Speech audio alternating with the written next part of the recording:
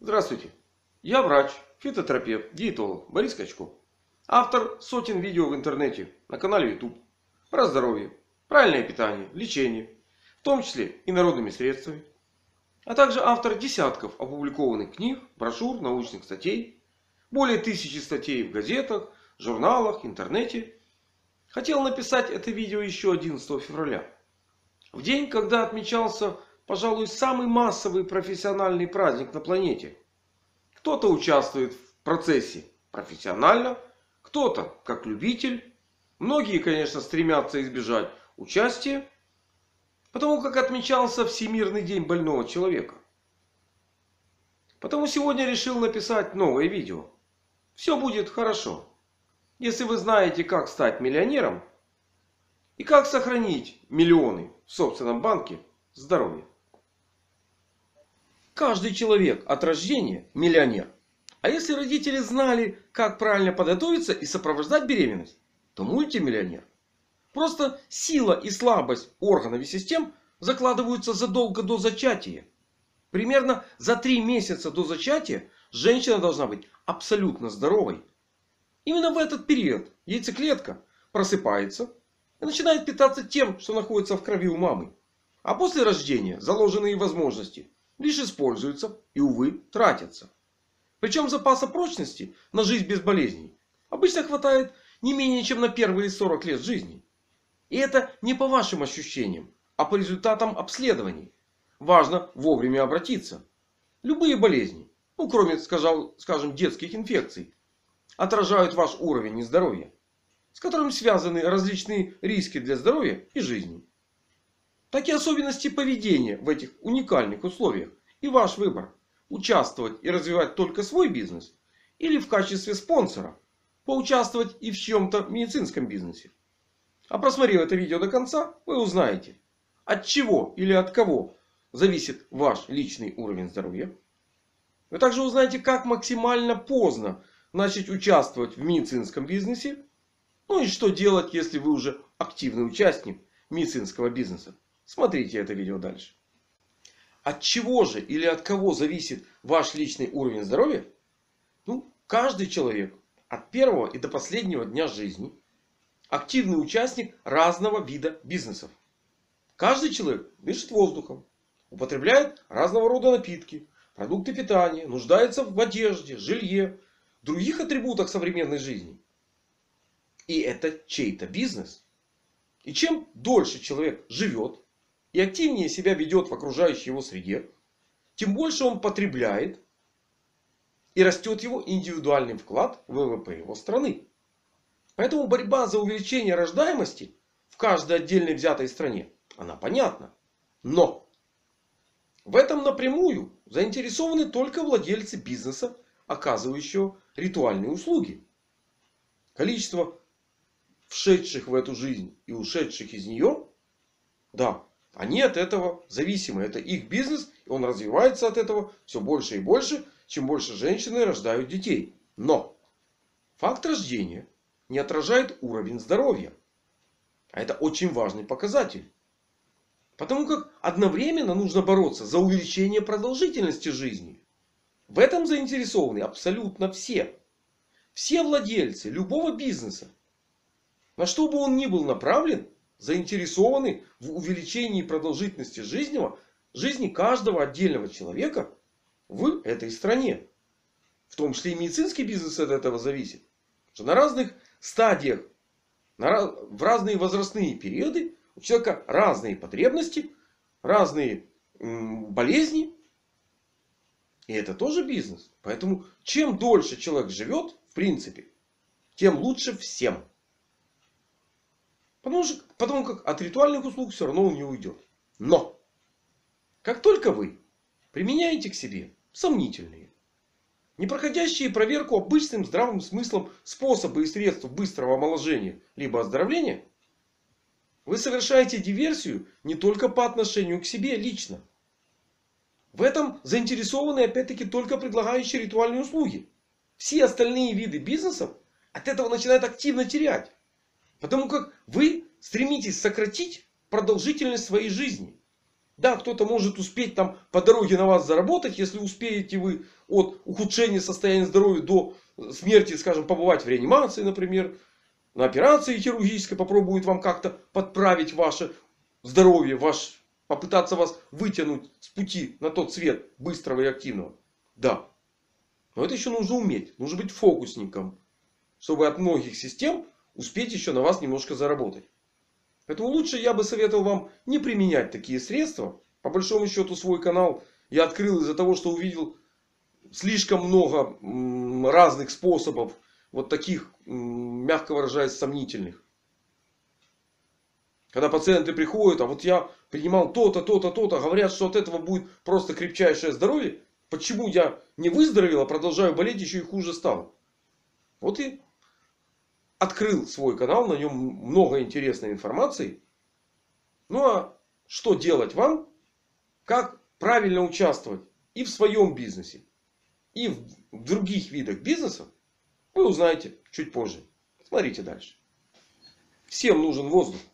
Причем кубометрами ежедневно. Но, если непривычно активно позаниматься спортом на свежем воздухе, можно легко и быстро получить кислородное отравление. А если вы еще попробуете позаниматься в сосновом лесу, хвойном, то есть, или в смешанном, то те фитонциды, которые в этих условиях уничтожали бактерии и сделали воздух чистым от них, точно так же окислят вашу дыхательную систему. И будет еще хуже. Можно нарушить состояние органов дыхания и в домашних условиях занимаясь спортом. Скажем, упражнения на полу. Напомню, 50-70 сантиметров от пола. Самый плотный слой пыли. Если вы в таком слое пыли занимаетесь спортом, активно дышите, ваши органы дыхания, мягко выражаясь, улучшаться не будут. И показатели ваши будут расти с большим-большим трудом.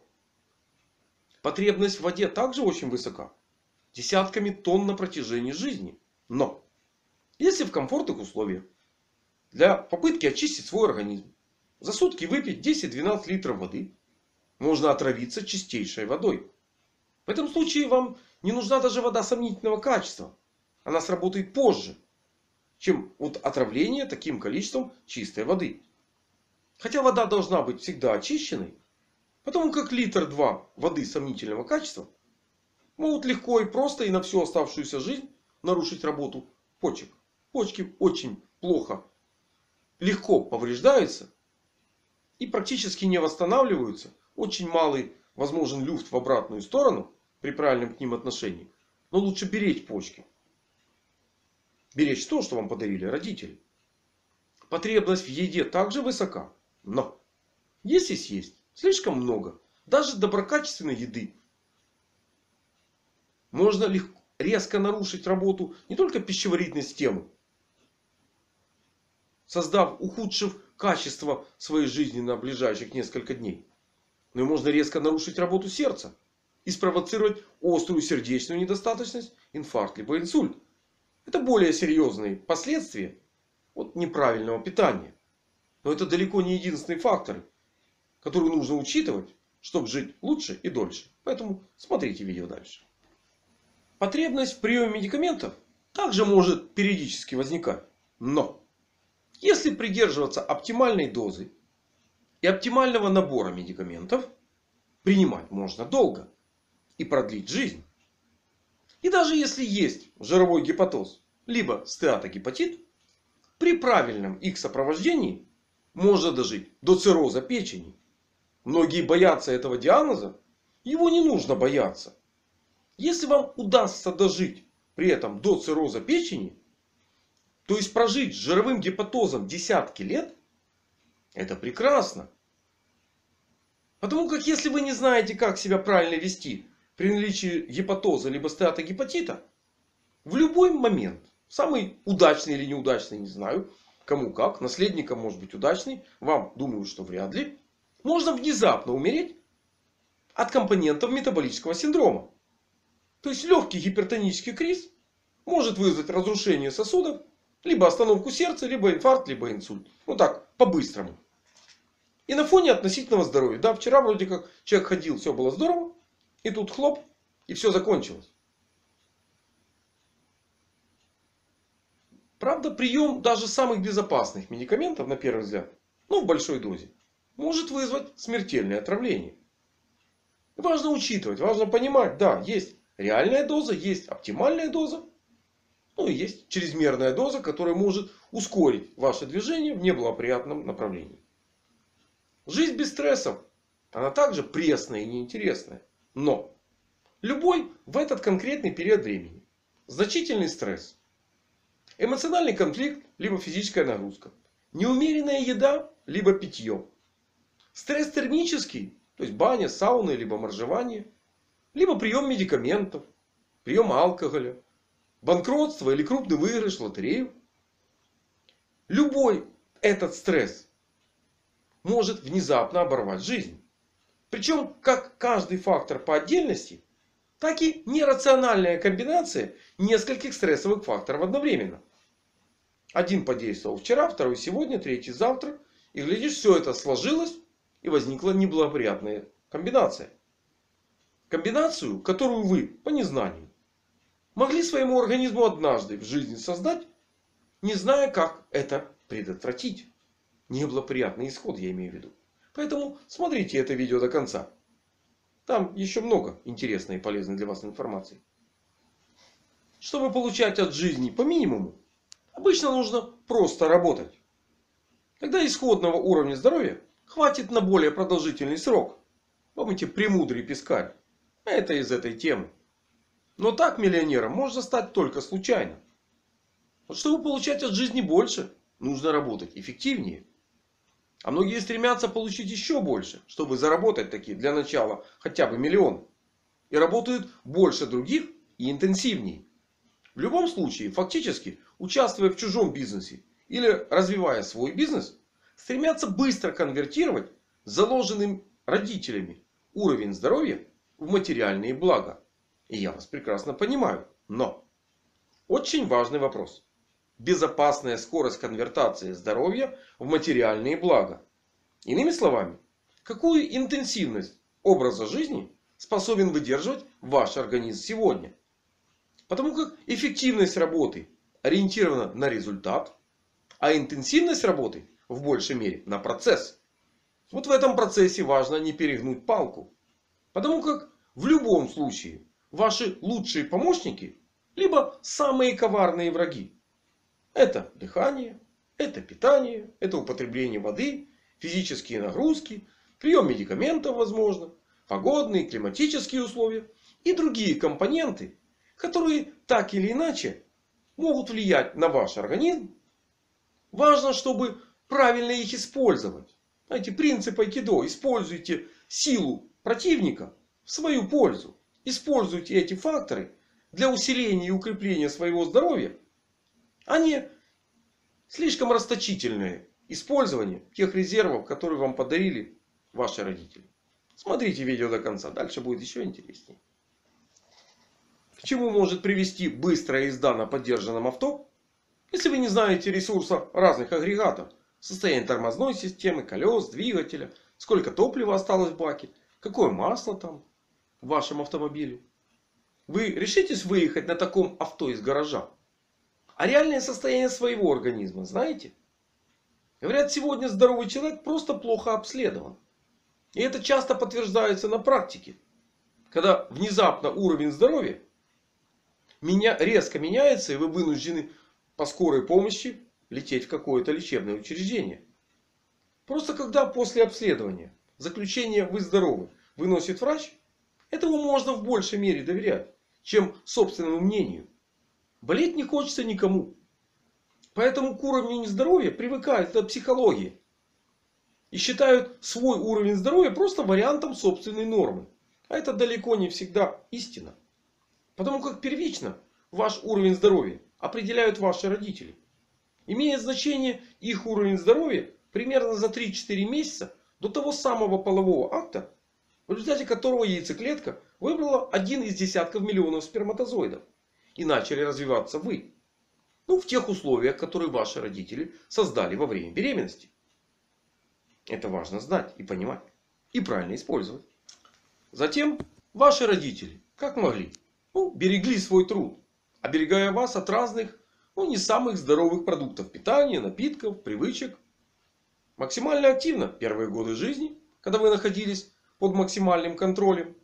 Далее, ну, по мере вашего взросления, влияние родителей обычно уменьшается. И уровень ответственности, пока человек находится вне медицинского учреждения, целиком и полностью ложится на его собственные плечи. В какой мере? На 100%. И не одним процентом менее. До каких пор у вас стопроцентный уровень ответственности за свое здоровье? Ну, пока вы не начнете совершать ошибки. Результатом которых появление тех или иных острых, либо хронических заболеваний. Которые внезапно могут нарушать не только качество вашей жизни, но и способны сокращать ее продолжительность. Любое заболевание, так или иначе, изменяет качество жизни и ведет к ее сокращению.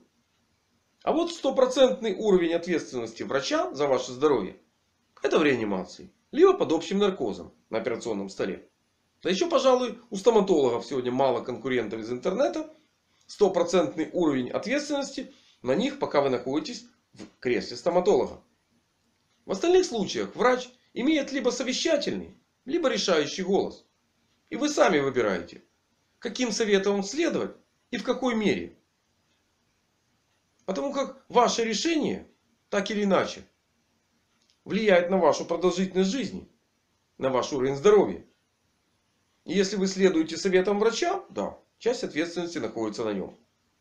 Но в любом случае, пока вы вне лечебного учреждения, практически 100% ответственности за ваше здоровье вновь на вас. Просто ваш выбор. Вы выбрали тот или иной способ лечения. Но это вы выбрали. Это ваш выбор. А вот как максимально поздно начать участвовать в медицинском бизнесе, вы узнаете прямо сейчас. Чтобы максимально поздно стать участником медицинского бизнеса, нужно активно заниматься профилактикой. Об этом в свое время сказал великолепную фразу гениальный хирург Пирогов. Он сказал, будущее принадлежит медицине профилактической. Его часть врачей услышала.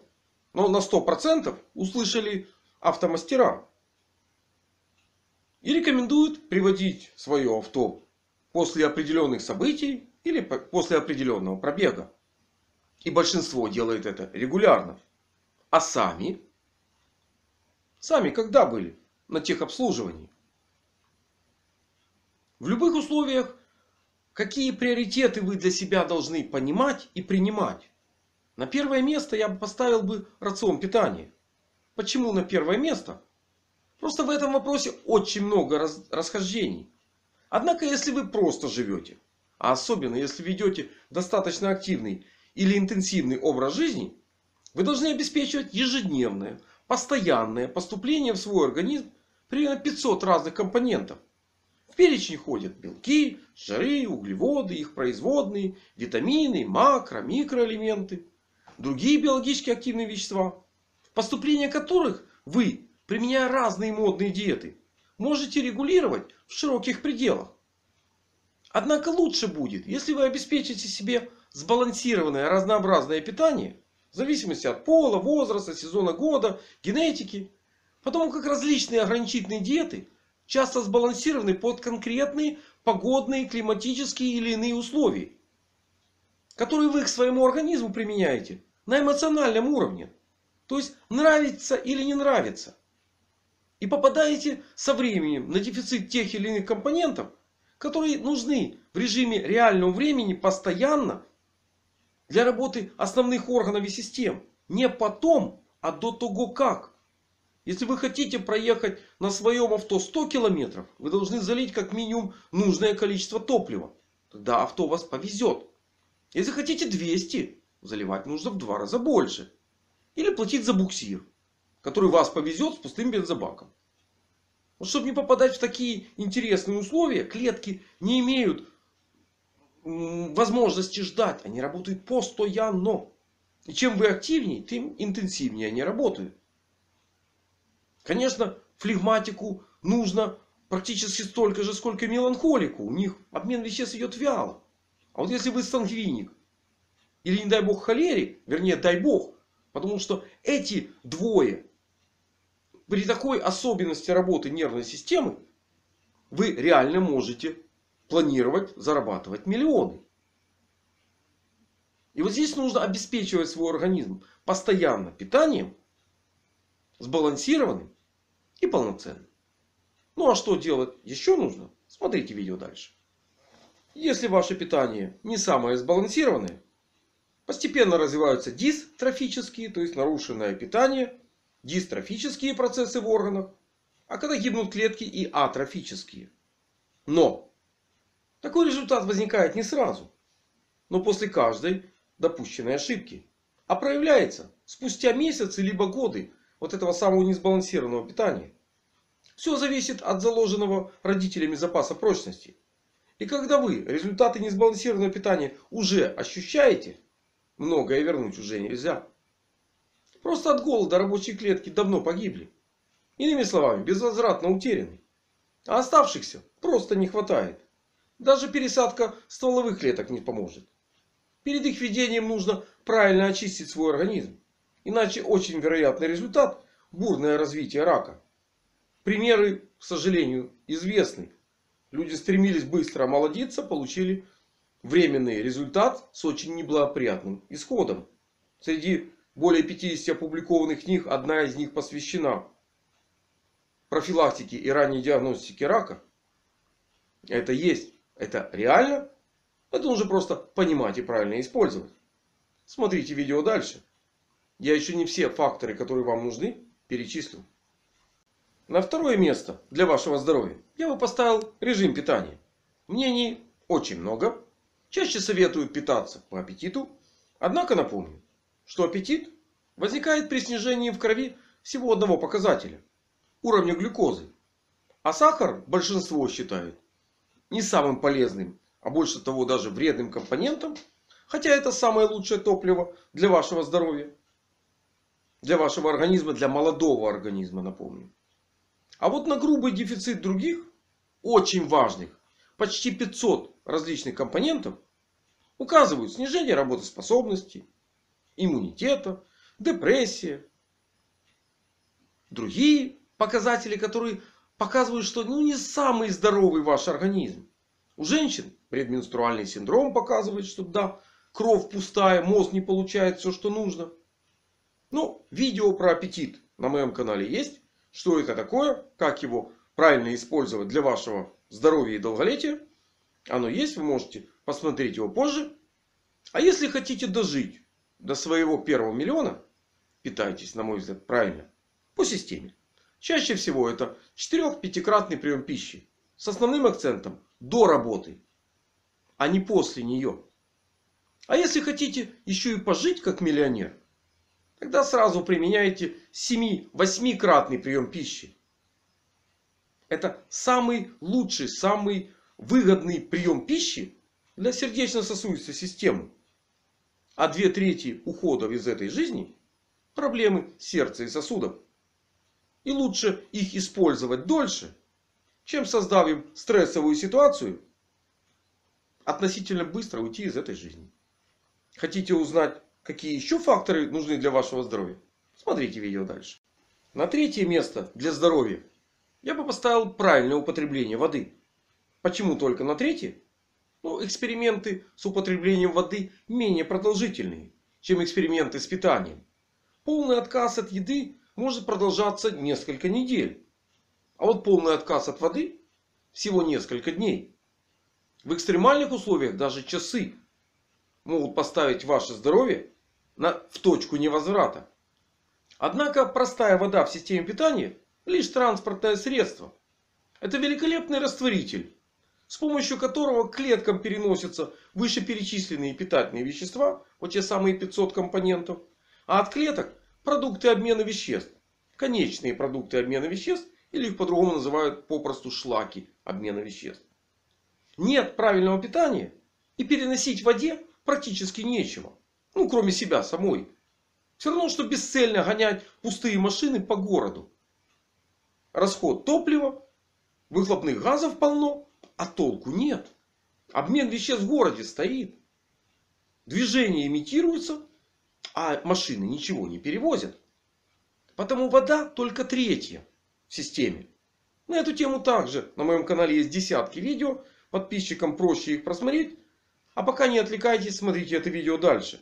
Подпишитесь на канал и просмотрите видео про воду, как пить до еды, после еды, во время еды, при занятиях спортом, фитнесом, детям, беременным. Есть такие видео, смотрите. А пока смотрите дальше. Дальше четвертое место, что нужно вам делать для вашего здоровья. А на четвертое место для вашего здоровья я бы поставил правильное дыхание. Тут эксперименты еще менее продолжительные, чем с водой. Полный отказ от дыхания и всего через несколько минут вы снова дышите. Или умирает ваш мозг. Однако кислород при всей его незаменимости. Да, это универсальный окислитель для той пищи, которую вы употребляете. Он абсолютно бесполезен без правильного питания и употребления воды. Более того, вреден. Потому как он будет окислять все накопленное вами ранее. А это, вопреки распространенному мнению про пользу голодания, особенно сухого голодания, крайне редко приносит ощутимую пользу. Поэтому правильное дыхание тоже важный компонент.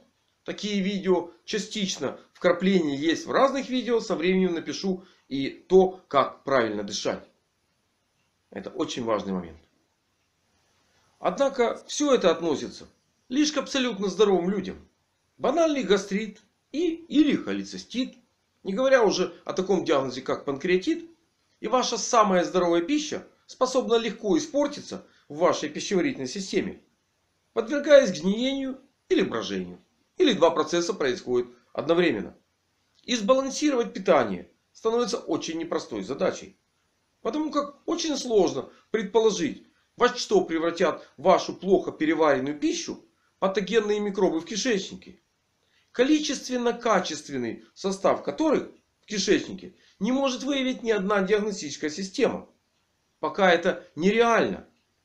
А вот частота применения антибиотиков производит новые виды микроорганизмов, которые да, будут жить и в пищеварительной системе, и не только в ней и напрягать вашу иммунную систему.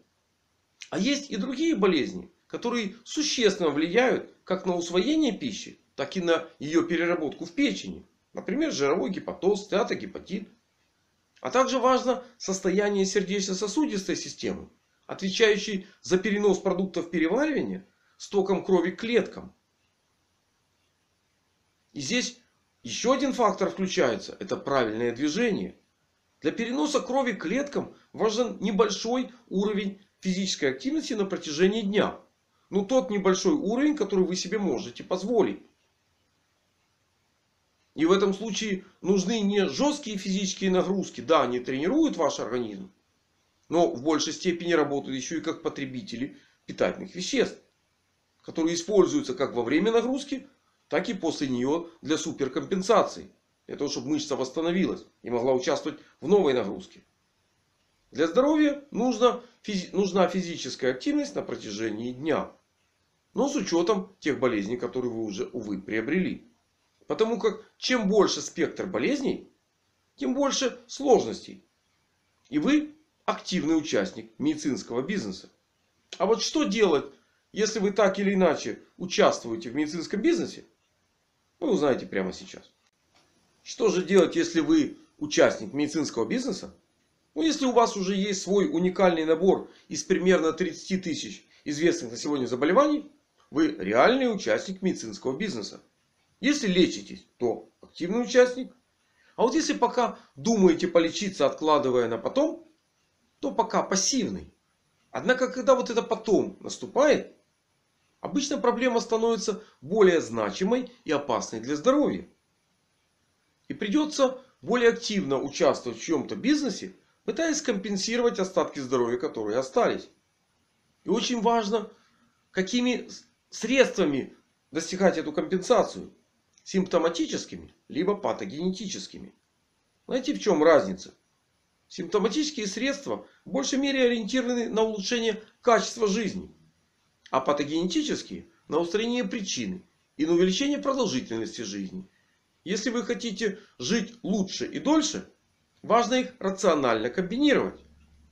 Официальная медицина чаще предлагает именно симптоматические средства, а народные традиционные патогенетические. Восточный врач, если он знает только народную медицину, он стоит на одной ноге. Европейский врач, если он знает только официальную медицину, он также одноногий врач. Важно стать на две ноги. Это более устойчивое положение, которое позволяет идти к здоровью кратчайшим путем, сохраняя его максимально и увеличивая продолжительность жизни на фоне хорошего ее качества. Ну а примеры вот симптоматического и патогенетического лечения я приведу прямо сейчас. Когда вы своим не самым здоровым образом жизни немного загрязнили свой организм или квартиру, и в каком-то из органов комнат начался пожар, то устраняя пожар симптоматическими средствами, вы надеваете противогаз, проветриваете помещение, насколько можете задерживаете дыхание или применяете противовоспалительные средства, а устраняя пожар патогенетическими средствами, вы тушите огонь. Вы убираете из своей квартиры легко воспламеняющиеся вещества. То есть проводите правильное очищение организма. И лучше это делать, безусловно, в противогазе либо респираторе. То есть под контролем. А не открывая окна для более быстрого выгорания квартиры. Понимаете в чем разницу? Как важно правильно комбинировать народные средства, официальная медицина и народная медицина. Вы же не хотите всю жизнь бороться с дымом, следствием. В надежде, что квартира сгорит не скоро. Все-таки лучше устранить пожар как причину. И вещества, которые вызвали пожар. Это две большие разницы, как говорят в Одессе. Когда воспаляются миндалины, гланды, аденоиды. Или аппендикс. Или изменена самая большая лимфатическая железа вашего организма по весу сравнимая со всей остальной лимфатической системой, это печень, то это означает, что ваша иммунная и лимфатическая система выбросили белый флаг. Они справляются с нагрузкой, которую вы им предложили. Что предлагает официальная медицина? Укрепление иммунитета, очищение организма? Чаще всего нет. После короткого периода наблюдения удалить часть лимфатической системы. Но если удалить аппендикс нужно там очень быстро возникает гнойный процесс и возможны варианты, то удаление, удаляя аденоиды либо гланды, ну, медицина просто расписывается в своем бессилии. Потому как это следствие. Не с ними нужно бороться, а инфекцию искать, которую, на которую реагирует лимфатическая система. И с ней справляться. Состоянием печени чаще смиряются. Есть как есть. Живите сколько проживете. Но жить с иммунодефицитом достаточно сложно, плохо. И лучше все-таки с ним справиться, а не смириться. Ну что делать? Смотрите видео дальше. Перечислять похожие ситуации можно достаточно долго. Но я постараюсь быть более кратким. В таких условиях опасно просто жить. Здоровье из вашего банка здоровья будет таять быстрее, чем снег на солнце. А если вы хотите работать интенсивно, чтобы стать миллионером, Здоровье может растаять неожиданно быстро. И очень часто, внезапно. Но только от вас зависит. Снизить интенсивность работы и попытаться заработать миллион в следующей жизни. Либо целенаправленно заняться своим здоровьем, чтобы не только заработать миллион, но и пожить как миллионер, зарабатывая новые миллионы. Многие живут беспечно, как миллионеры, растрачивая ежедневно сотни и тысячи долларов из своего банка здоровья. И получая по сравнению с этим просто гроши на своей работе. А вот чтобы конвертировать и обналичивать по выгодному для вас курсу из банка здоровья накопленные там средства, нужно правильно относиться к себе любимому и прежде всего обеспечить себе правильное питание. На моем канале вы можете найти разные видео, задавая вопросы, получить на них ответы. Ну, самое емкое есть видео консультация врача-диетолога онлайн. И вы можете, потратив всего там около 40 минут, получить более такую целенаправленную информацию о том все же, как правильно питаться. Чтобы здоровье сохранять на максимально длительное время. И получать от жизни удовольствие. А на этой позитивной ноте я это в большей мере мотивационное видео буду заканчивать. С привычными подписчикам моего канала словами. Крепкого вам здоровья и разумного к нему отношения. И пока вы думаете, кому отправить ссылочку на это видео, поставить на нее лайк. Я подумаю, какое еще видео написать на эту тему для вас. До новых встреч на моем канале.